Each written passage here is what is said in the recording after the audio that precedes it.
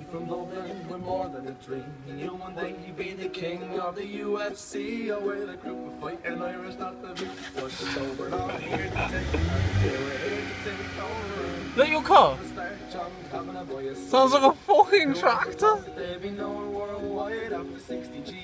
Baby, known worldwide after 60 G's, baby, and a contract to sign, leaving his life and the social welfare behind. And after two years came the featherweight champion of the world. And Conor said he'd make him look like a little girl. It only took 10 seconds to show his talk. Wasn't cheap as he connected with the left and put out.